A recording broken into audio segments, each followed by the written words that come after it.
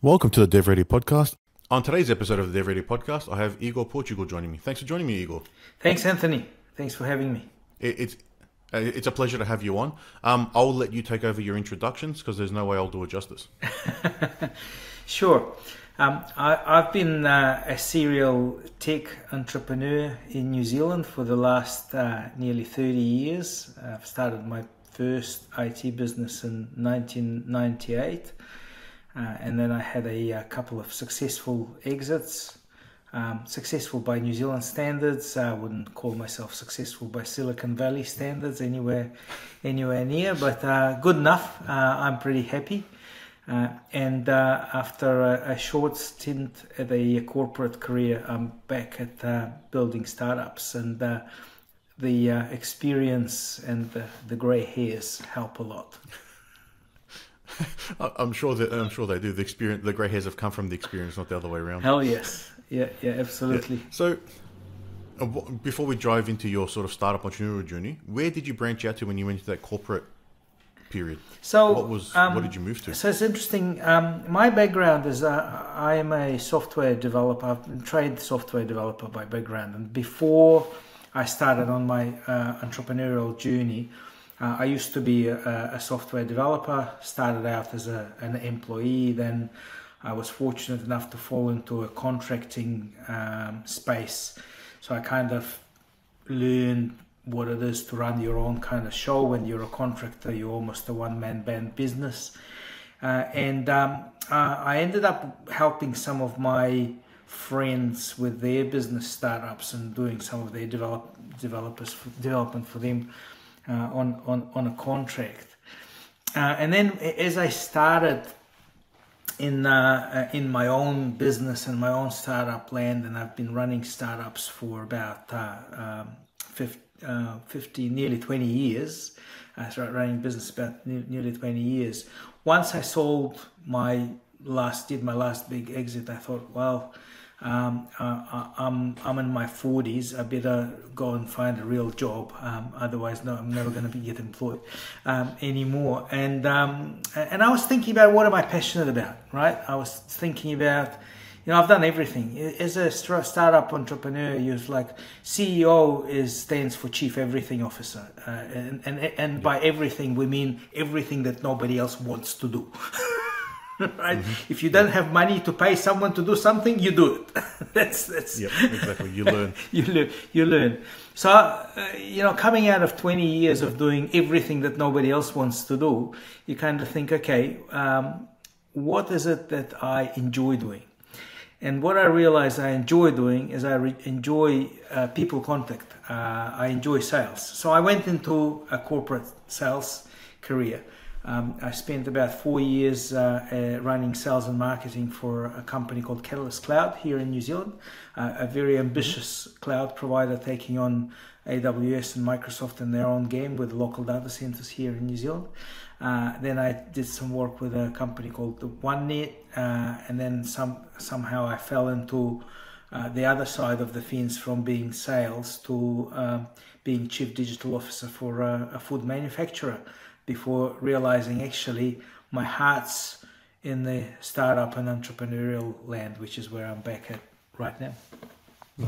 So the skills yeah, you learned early on would have definitely helped you there, and then you Absolutely. would have learned probably something different at that level. Yeah. Because you're probably dealing in larger contracts, bigger things, longer buying cycle, and then how to map that back into when you made that pivot back. I'm guessing. Um, yes and no. Uh, the, my last uh, business that I've had, Vodacom, uh, we've had some substantial uh, organizations that we were servicing. Um, so I was already familiar with the longer buying cycle and uh, selling into that larger uh, corporate. Um, I wasn't doing it myself, I was doing it with the help of some very experienced salespeople. So le- learning how to do it myself, I guess, was very valuable for me. Uh, and not only learning how to do it myself, I was uh, very fortunate uh, to be coached by one of the best salespeople in New Zealand who uh, unfortunately is now retired from everything uh, and uh, isn't coaching anybody anymore. So I'm trying to pick that uh, pick that skill up myself. Uh, but um, uh, I've uh, I've filled in a lot of the gaps in my understanding of uh, uh, sales process and sales strategy for this B2B technology sales um, from what I've had experienced over the last 20 years before that. Okay. So we can probably do an episode on each one of your startups. Absolutely. Is my guess. Yeah. What, Yeah. How could you give us an overview of sort of the different spectrums or what you've done over the years in that journey? And then we can go into some key learnings after that. At least give us some background to start with. Well, there's a lot of there's they they they they all have uh, their own uh, story uh, in their own right. You're absolutely right. Could do an episode on uh, on each, and they all had a a, a very interesting journey. Uh, my my very first foray uh, into business, um, uh, you know, uh, I always often ask people how much they spend for the education. You know, how it's an in- interesting question. Um, I spent twenty thousand dollar investment that gone poof to get educated on how not to run a business. and and they weren't even my mistakes, right? So uh, um, so my very first um, foray into business was partnering up with another business that went spectacularly bust, uh, taking in some of the some of my cash. Uh, but it taught me uh, what happens when it all goes to rubbish, um, and uh, it showed me what to watch out for when you actually want to run a successful business. And so the next one that I've built uh, was a lot more successful. Uh, I had some other lessons. Uh, the the second most important lesson was choose your business partners carefully. Make sure that you are compatible uh, with your business partners. It's a little bit like dating. Um, you've uh, you know the difference between uh, dating and business is if you you when you're dating then you get married uh, then you know something happens and you divorce you have to give half of everything that you built to someone else uh, in business uh, unfortunately divorces sometimes take everything Yeah. it- it And then happen some. Depending on how you structure things. and then some Yeah, it, it can be a big problem depending if you don't It- have the right structure exactly in place. if you, I'm, I'm, I'm talking about exactly the worst case scenario. Um, so uh, yet people are much more careful about choosing their uh, life partner than they are about choosing their business partner. Well, yeah, you don't normally go and ask someone to get married on the first date, and that's generally what happens with a lot of our clients trying to pick people they want to work with or businesses Yeah. get excited about an opportunity and straight away let's partner and move forward. But They get- yeah, there's not enough DD happening yeah and not enough just taking time. Absolutely, yeah, and that's that's exactly the problem. Uh, quite often the problem. Sometimes people are lucky, but uh, more often than not, it ends up in tears. Yeah, it, it, it- can. Yeah, I've heard some shocker stories. Mm. So, what sort of industry or area were you in? So, you've been in, is it tech startups mostly? So, I, I, as a software developer by background, uh, I've been my entire life has uh, been something to do with tech, um, something to do with software. Uh, my first uh, successful business was New Zealand's first Linux specialist practice, and uh, we were doing anything and everything as long as it's uh, revolved around open source technology, uh, from implementing um, websites and building building web apps to people, to building file servers, email servers, firewalls. Uh, we've built one of the very first uh, managed cybersecurity uh, practice building on top of Linux firewalls. Uh, so it was quite a wide ranging business. Uh, and uh, once I've sold that, I went into building a my next successful startup, which was uh, Vodacom, uh, and that is IP telephony business. Again, uh, Okay. software, but uh, but more with the telecommunications angle. And then I spent about 12 years in the um, uh, unified communications, telecommunications, voice over IP space. When we started, it was quite new and uh, quite revolutionary. Uh, by the time I sold the business, it was uh, pretty much every man and his dog doing this thing kind of thing. Yeah, there's a lot of uh, white box solutions you can just resell. Yeah, yeah, absolutely. Yeah. Yeah. So, what are some of the sort of the key things you've taken away over that journey of those startups and the ones you haven't mentioned that sort of carry on with you today into what you're doing?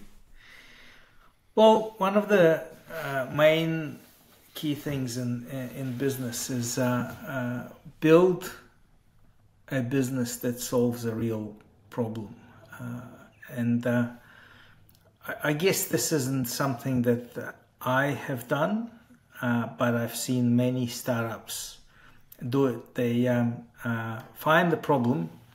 Uh, to um, create a solution, but the problem is not really a real problem. So the a lot of startups end up with a solution that is beautifully built, and they've just spent a lot of time building it, and then they go out into the world in search of that problem that they've imagined uh, in the yep. first instance, and then it ends up uh, not being a problem. Uh, and often, uh, you know, I have the the sizing test, and that's kind of important because it's also part of my sales strategy that I'm preaching now, is that uh, there is a size of the problem that the customer has, and then there is a size of the solution. And the way it all often looks is that uh, you can solve this problem by spending 10 bucks, or you can get the solution that costs $100 to implement, and then implement that to solve the $10 problems. That's not going to work no, you know, yeah. customers yeah, the, are not the scales are just, scales are a bit unbalanced. Yeah, there. just because it's shiny and automated doesn't mean that it costs less to implement and run. And one of the biggest challenges that uh, a lot of entrepreneurs face is that um, they go into building something without realizing the true cost of implementing it and mm-hmm. what is going to be then cost to the customer to implement. They don't figure out the entire cost. Where my approach to business now is I start with engaging with the customer, uh, engaging with target market, and understanding the size of the problem that they need solved. And then I work back, backwards to find whether there is a solution uh, to be to be made. Uh, and it's very important to calculate not just the cost to me or the cost plus plus whatever profit that I want to make, but also the cost of change. Uh, that's one of the things that are that are very often misunderstood, and I've heard story, countless stories of salespeople complaining uh, they said, "Oh, it's a no-brainer." We went to them. You know, they've got a budget of hundred thousand dollars, and we've shown them this beautiful eighty thousand dollar solution. It's like a complete no-brainer. Just do it. And then, if you dig deeper, you realize that well, actually, for them, the cost of change may be another fifty thousand. So your eighty thousand solution plus fifty thousand is going to be way more than the problem that you're solving. And the problem and the, the, the, challenge is customers don't articulate that very well, right? So no. they will not tell you. They just tell you, we've got a hundred thousand dollar budget. And then you work to that budget, right? You don't think about, uh, well, this, when they say hundred thousand, they also mean some of the internal um, stuff. Um, as a chief digital officer, I was a, a part of scoping out a transformation uh, uh, project for, for the company and uh, uh, the executive team has been looking at what's the cost of the transformation projects. They, have been looking at the quotes provided by the suppliers to implement that. Uh, and then uh, what I ended up doing is I ended up going to the different department heads and saying, okay, well, if you're going to implement this, how much more staff do you need and for how long? Right? And by the time I've calculated all that impact, uh, because if you're a manufacturer, you can't stop manufacturing just because you're implementing a new system, no. right? You, people still gotta uh, gotta buy buy your yeah, stuff. Transition unless period. unless you shut down your whole manufacturing for for a year, which nobody does, right? Um, so It's a you need transition to period which Yes. impacts. exactly, and then by the time we calculated that, that was double the cost of what our suppliers was costing were, were, were quoting us, and uh, Yep. you know we've scrutinized it and paid it down to eighty percent of the cost, but still it's you know one point eight times what we were uh, quoted, which which ended up to be quite a significant uh, significant cost. And the challenge is that not many people actually do it. Uh, what they do do is they look at your cost, they scratch their head, they think, well, actually, uh, it's going to be a pain in the butt, so we're not going to do it. And by the by the pain in the butt, what they really mean is that by the time they add the cost of change, it's going to blow out their budget. Yeah, so yeah, change management is always one of the most difficult things. Not just the cost of change, but actually trying to upskill, train, and get Absolutely, people who are, yeah. are stuck in their ways to actually adjust what they're doing. Absolutely. is one of the biggest challenges you're going to have. People don't like change.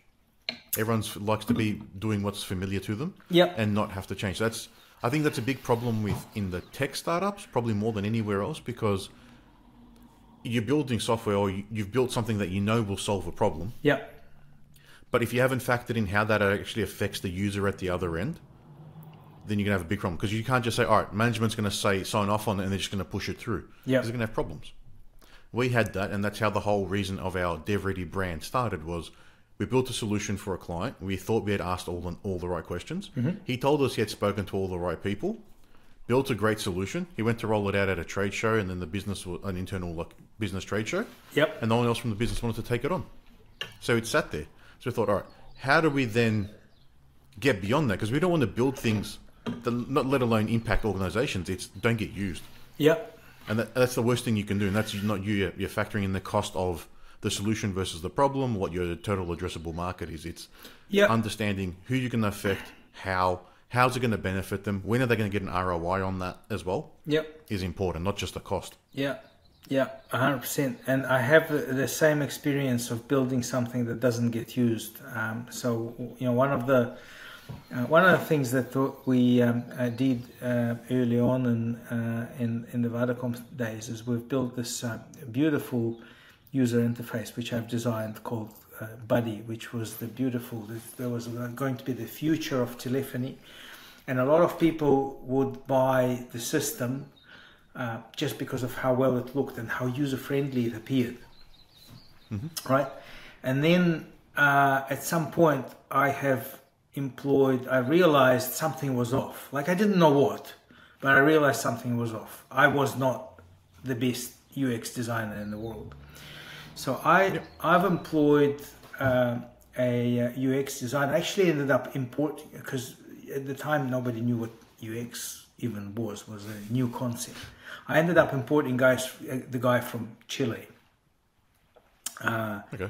uh, and and he actually went on to do great things here. He was uh, head of uh, user experience for Xero for a while, eventually, Oh well. uh, and and now I think he runs um, user experience at Atlassian. So quite a uh, quite a very talented guy, and we sort of sat down with him and started reviewing the user experience, and, and he goes, well, let's just see how many of our customers actually use Buddy. To my shock horror, I've discovered that the answer was almost none. Oh well. The- they just used the integrated solutions and The- rather than the standalone version. no, they just didn't. They just picked up the phone and talked. Like they did not use. Oh, okay. they, they, they did not use the um, uh, the user interface at all. Uh, there were a handful that did, uh, and that gave us. But the what that taught me is that, well, actually, contrary to what you just said, building something that sells but not necessarily is used is a kind of strategy because it was Yep. give like It's we- selling. we- it was selling. Yeah, it was selling. Uh, but then don't kid yourself, right? You've got to Yep. you've got to know what what what what the, what the right thing to do. And um, when you have a big enough market and you've got something that sells but it's not getting used, uh, it's it is kind of important to turn it into something that's getting used because the problem is that then people don't end up renewing and you know keep, Yeah, keep the keeping retention's up, low, the retention's low, keeping up with the uh, with the buying cycle. But um, the point is just just because you can sell it doesn't mean it's useful. Don't kid yourself. Correct. yeah, and I, I think the best example that comes to mind of that that I can remember, Yeah. which is probably dating my knowledge a bit, and you'd remember this as well, was uh, Microsoft Word moving from the traditional menus Yeah. to that new ribbon interface. Like was it ten years ago now? Word 2013, I think it was. Yeah. And the reason they did it was when they asked, but they polled their users, how many of these functions do you know exist or how to use them, and no one knew any of them. And they were getting new feature requests, I think, every week for functionality that was already in the product because people didn't know how to find it, didn't know how to surface it because the existing menu was crap. So that's a, a scenario where you have the product sold, people Yeah. are familiar with it, Yeah. but then the big change management at their level, which is probably very unprecedented to get a change management process at that scope where Yeah. you've rolled out a new interface that billions of people may be using Yeah. to try and solve problems that don't exist because the people don't know how to find things. Yep. Yep. Absolutely. Uh, yeah. I a hundred percent, and I totally agree with you. And that kind of taught me also the importance of user experience and and building something that people will will eventually use. Uh, you know, sales is one thing, user experience is another. Yep. Yeah, you need people to use the product. It's just like if you're a carpenter or someone else. If you're building a piece of furniture or a house and no one's going to use it, what's the point? Yeah. You feel like, Yeah. all right, you've got them paid for it, but it's it's like hollow. You've you haven't achieved anything. Exactly. You actually want to help people. I, I think that problem of building something without a solution, from my mind, a lot of probably tech founders do that more than the non-tech founders. I think Yeah. the non-tech founders may not ask the right questions. Yeah. But the tech founders, because they can code, can just jump into doing something very quickly. Oh, it's, it's easy. I'll do it over a weekend, and they get a really quick prototype going, and now they've got a. Now they're looking to, Find a problem. Yeah. uh, a, yeah, find a problem that fits that solution that they've put together. yeah, a solution, a solution looking for. Yes, and uh, I I agree with you, and that's one of the challenges with uh, with a lot of uh, tech founders is is build. They, they they do tend to often build a uh, a solution in search of a problem, and then the next step, of course, they go and look for funding. Uh, and one of the one of my favorite um, sort of don'ts uh, in funding is you know 99% of uh, uh, funding pitches that I've seen look something like that. Um, I've just quit my job, so I can do this really cool gadget that nobody wants to buy. So now I want you to pay my salary so I can keep working on it. Yep. Okay. it's not a good pitch, is it? Well, it, when you boil it down, you know, ninety percent of startup pitches look at look something like that, right? Or, or, I want to quit my job, right? Uh, you know, I, I built this gadget nobody wants to to buy, and um, very often when so I've built two businesses organically, and and the startups that I'm founding now, uh, I'm also growing organically and very uh, and and and what they call boots, bootstrapping. And very often when people come to me for advice on seeking investment or raising capital uh, my first uh, answer is well your best investors are your customers. Have you tried selling it? Uh, and uh, when the answer is well no uh, then okay so you've built something nobody wants to buy and you want investors to buy it instead. What's in it for them? Yep. right? Um, it's the brutal kind of response to it. Um, Yep.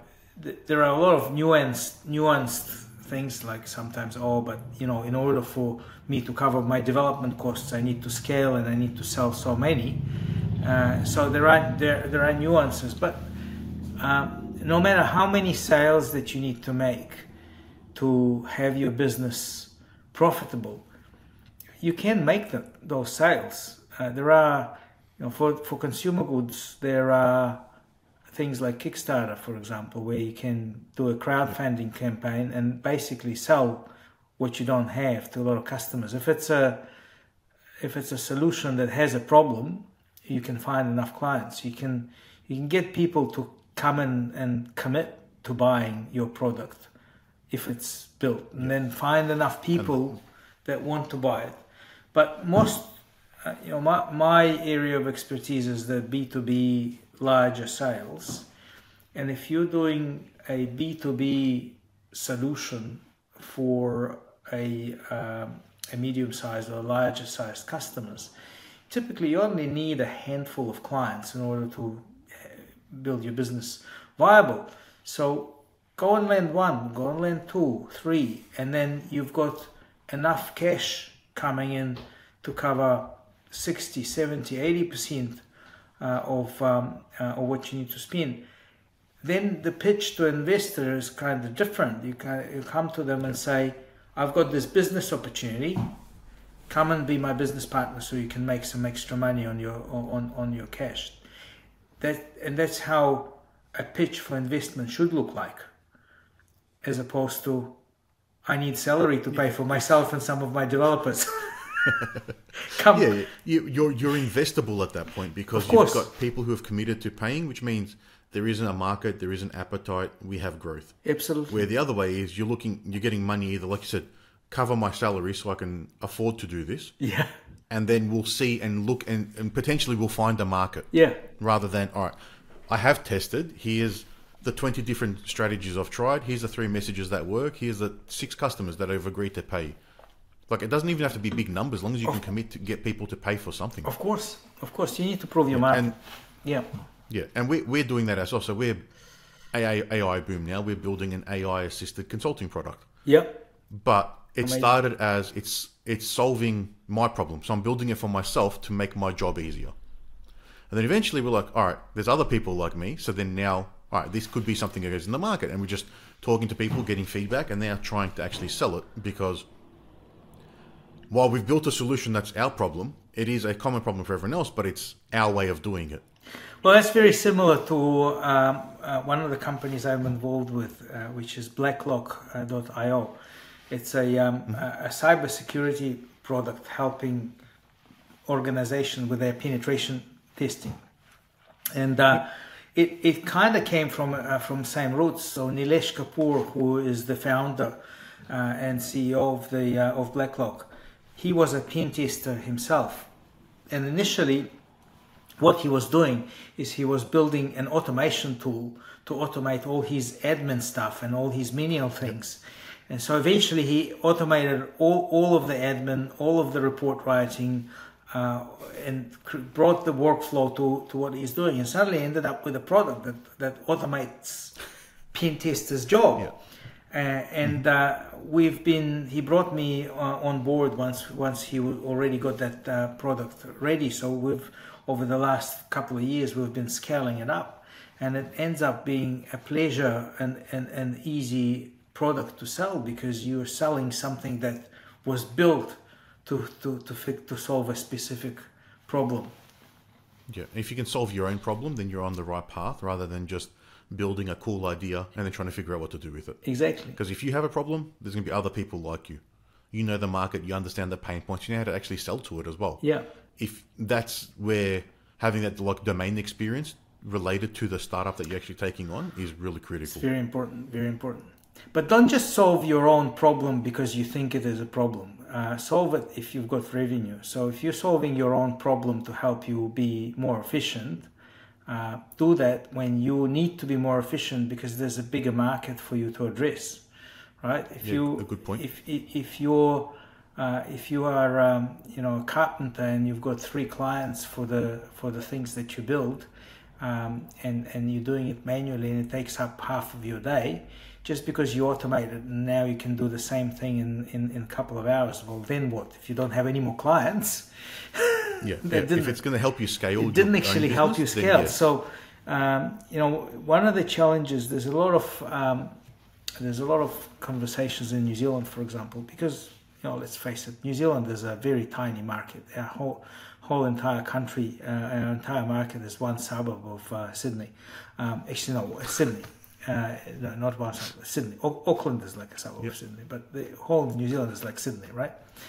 Uh, and um, uh, and that's the entire market, right? So if you have built enough capability to service this entire market, uh, making yourself more efficient is not going to increase this market. You actually need to go and find a way to get ways to get other markets, and um, automation in the same market that you're in versus automation to scale up outside of your own jurisdiction, outside of your own geographical location. these automations could be actually very, very different. And that's another thing that people need to realize. And that's one of the challenges. And interesting. I see a lot of Australian companies coming into New Zealand uh, failing because they don't, they automate for bigger market inside Australia, but they don't deal very well with a smaller market here. Uh, even though we speak the same language and the market dynamics appear to be the same, but they're not because of the size. And same goes for New Zealand companies going into Australia. They need to um, accommodate for geographical distance, time zone differences, but also different way of do- ways of doing business. A bigger market means different way of doing business. And then both New Zealand Australians, when we go to the US, that becomes you know another level, another challenge. Yeah, um, 50, 50 Australias there. Exactly. each state's like a different country. Each state's like a like a, like Australia, and um, yeah, that's how we feel coming from New Zealand to Australia as well. You know, for us, it's um, it's it's ten New Zealands or five New Zealand, five, yeah. five size, five times the size of New Zealand, and each state is different, um, different market as well. So a lot of these things I've um, uh, I've managed with both of my uh, companies that, that, that were successful. We managed to establish ourselves in Australia, but never really managed to go any further than that. Uh, that was uh, getting uh, getting a bit difficult. And uh, the advice we had is, you know, for us to go beyond Australia, that's when you need investment. That's where you, you need to yep. say, okay, well, now you've proven this market and this market. Now to take it to the next level, next market, you actually need to spend some some money. And this is yep. where you go to investors and say, well, we've proven the product, we've proven the market, but we need now investment to scale outside. Yeah, and you've got revenues, and then they can actually see a path to an exit for them of as course, well. Yeah, of course. Because you can't, you, you shouldn't be trying to get investment or sell at the peak because there's nothing left for the next person. Yeah. You need to let them have room and a runway to be able to actually try and capitalize on their win, like their investment. Yeah, yeah, absolutely, absolutely. Except, um, you know, this is where technology businesses are better than um, uh, some of the uh, bricks and mortar one because um, with tech businesses, there's never really a peak. There's very seldom a peak, uh, and we we have this. Um, uh, we have this example of uh, in New Zealand we have a company called TradeMe, which is our equivalent of eBay, and TradeMe has managed to sew up this market pretty well. So there's no, there is no eBay in New Zealand uh, because there's TradeMe. Okay. Uh, and the guy who built TradeMe, he sold uh, that company for about seven hundred million dollars, and everyone thought this was a peak. And it's been sold twice or three times since then. Now it's valued in the billions, oh, wow. and it's still growing. Uh, it's um, yeah. So is it because it just capitalized the market? It's not well, it's kept, adding new features, adding new products. New it's completely captured the market, and it's just adds. So they've added, uh, uh, you know, the, the, there was just your general goods. They've added uh, motors. They've added real estate. They've pretty much okay. taken over the whole real estate market. Um, they they rental and sales. They is they've they, gone into other just, verticals. They, yeah, they've gone. Uh, yeah, and and um, and they keep adding, keep adding. They now recently added jobs um, etc. Because such a big brand in New Zealand, uh, mm-hmm. anything you wanna you wanna you need something, you go to TradeMe first just you to see if anyone's selling that. Yeah, yeah. So and it keeps growing. Okay. So yeah, it depends how you yeah, approach it. So the standard auction probably would have had a, a peak and a limit, and then yeah. they had to expand into the next vertical to be able to then grow the business and leave some more cash on the table for the next person to come in and milk. So, yeah, it, there is quite a lot of things to look at whether you're starting a business, building a product, or trying to figure out how to get it to the next yep. level. There's hundreds of things you can look at, and you won't know if you're making the right decision either as no. you're going through those things. It's just trying to like speak to yourself and learn from people like you or people who have gone through these journeys before to learn as many little things as possible. So then hopefully one of those nuggets is the right decision at that point in time. But building your your Absolutely. your like defenses up with the information is critical. Yeah, absolutely. So Igor, it's been a pleasure to chat to you today. We'll have to cut this short, being wary of the time. Sure. Um, we can probably have to. We probably can do another episode at some other point. I think we we barely touched the surface of what you've been doing, but Sounds some good. key information came out of that. Um, if anyone wants to get in touch and learn more about you, how can they do that? So I have a uh, website called igorportugal.com uh, or they can send me an email uh, igor.portugal at gmail.com uh, uh, or even better uh, hit me up on LinkedIn um, I uh, usually accept invites from Australia and New Zealand um, so Yep. yeah hit, hit me up on LinkedIn and um, happy to talk business um, I've yeah uh, happy always happy to share uh, what I've learned with people And then yeah, check out um, Igor's got a series called 99 Coffees as well, where he interviews and people similar to this process and shares their story with with the, with them. Um, we'll add those all those links into the show notes as well. And once again, Igor, thank you. It's been a pleasure. sounds good thank you Anthony it's been a pleasure too